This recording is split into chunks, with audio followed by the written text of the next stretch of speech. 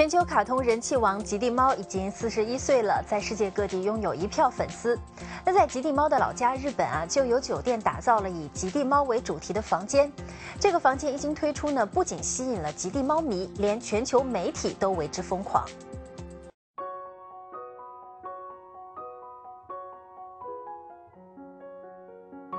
推开粉红蝴蝶结房门，开启令粉丝着迷的极地猫世界。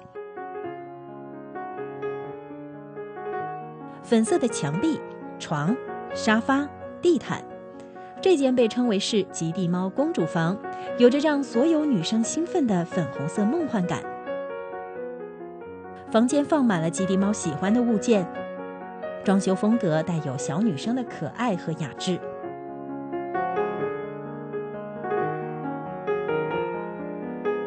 而另外一个房间的色调明亮大胆，主题是极地猫城。营造出极地猫与家人、朋友一起在东京度假的氛围。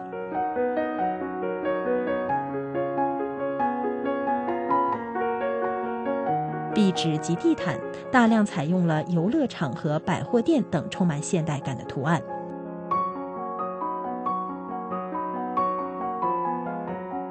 两个房间也在细节上花心思，例如这瓶极地猫领结瓶子的水和洗漱用品等。在房间里的每一个小发现，对于粉丝来说都会是惊喜。东京京王酒店和极地猫东家三丽鸥公司合作，为房间进行设计，在去年十一月一号开放给全球游客。每一个设计各四个房间，每个房间一晚要价两万三千八百日元，也就是两百七十多新元。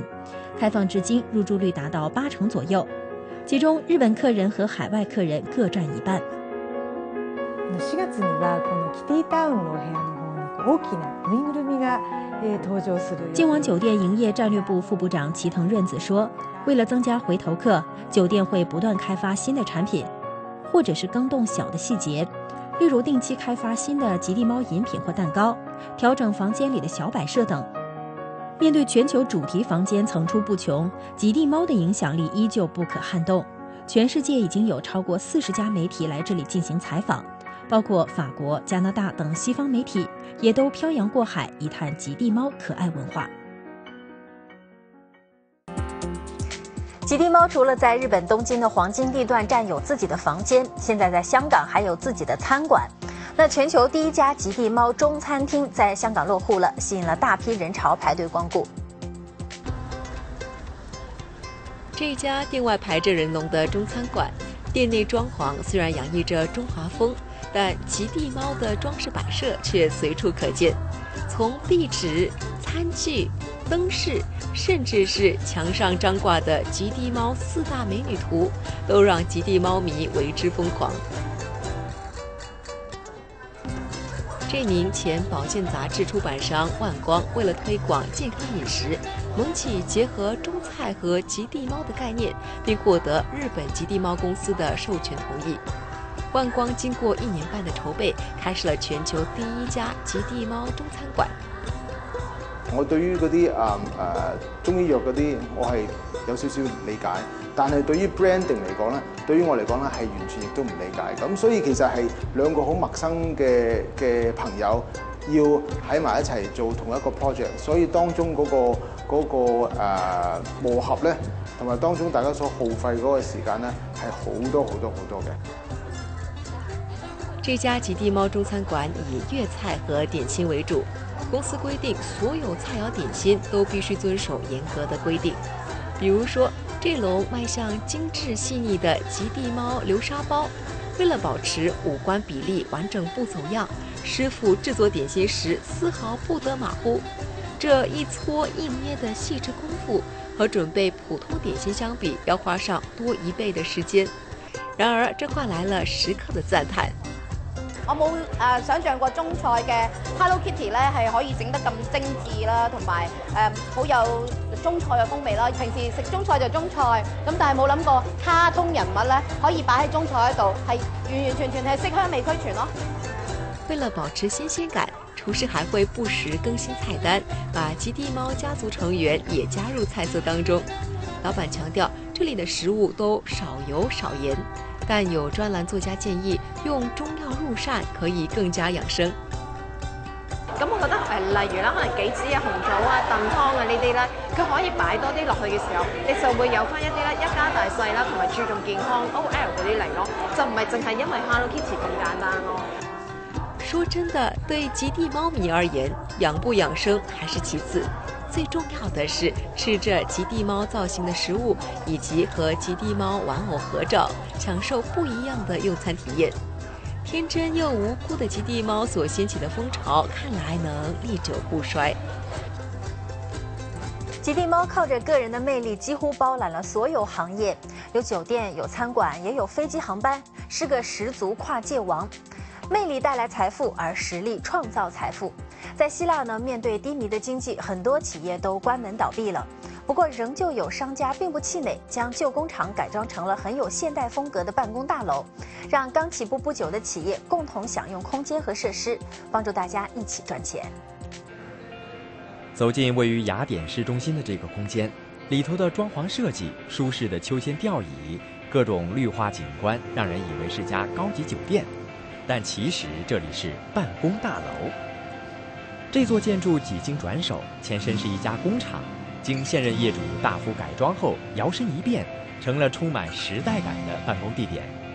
不止如此，大楼内酒廊、餐馆和艺术画廊应有尽有。The idea was to have a very um, different place that doesn't look uh, that that can that doesn't that doesn't look so Greek, yes, or Mediterranean. I mean, it's it's it's different. As you said, it could be could be anywhere. Um, we wanted to to be more international. 业者西奥多同多名商业伙伴，二零零八年买下这栋商业大楼，然后出租给通讯公司和广告公司。不料当时全球爆发金融危机，进驻大楼的广告公司业绩削减预算高达百分之七十五，不少公司甚至倒闭。